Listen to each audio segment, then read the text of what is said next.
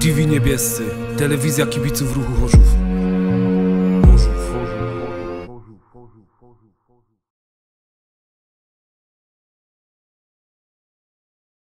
Jesteśmy po meczu z Rowem Rybnik Tomek. Wracamy na zwycięską ścieżkę, a zwycięstwo w meczu derbowym chyba smakuje wyjątkowo.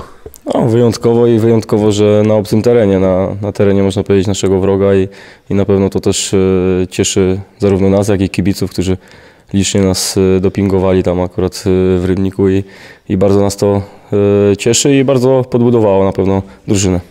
Jak oceniasz grę ruchu w tym meczu?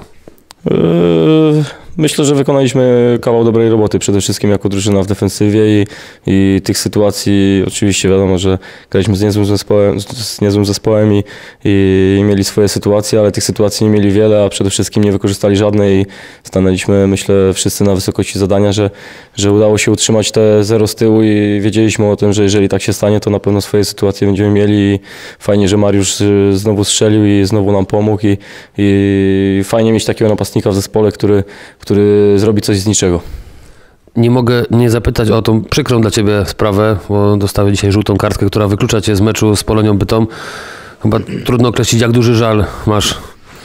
No, szczerze mówiąc, jestem załamany. Oczywiście bardzo się cieszę z tych trzech punktów i dzisiaj myślę, że, że tak będzie, ale, ale jak tylko sobie pomyślę o tym sobotnim meczu, o tym święcie dla wszystkich i, i o tym, co się będzie działo, to, to jestem naprawdę zły i załamany. Zły na siebie, bo, bo mogłem e, trochę inaczej się zachować, ale, ale też myślę, że trochę sędzia by zbyt pochopnie do tego podszedł, ale no, tego się już nie cofnie. Nie gram e, za tydzień i, i to jest niestety dla mnie bardzo, bardzo duży cios.